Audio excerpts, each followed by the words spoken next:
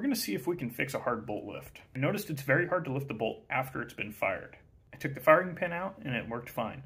So it tells me it's something in the back end of the bolt. Since I just did the deep ultrasonic clean on this, this thing is squeaky clean. Too clean probably. So a friend of mine recommended greasing her up, so let's try that.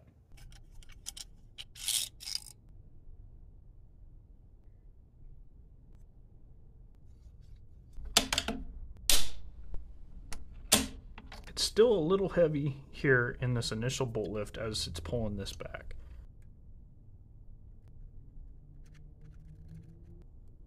This is much better now. So is that is still where it's compressing the spring, but it's much easier, it's much smoother having all that greased. Not a fan of the idea of that much oil and grease in there, but it's smoother and we're gonna try it.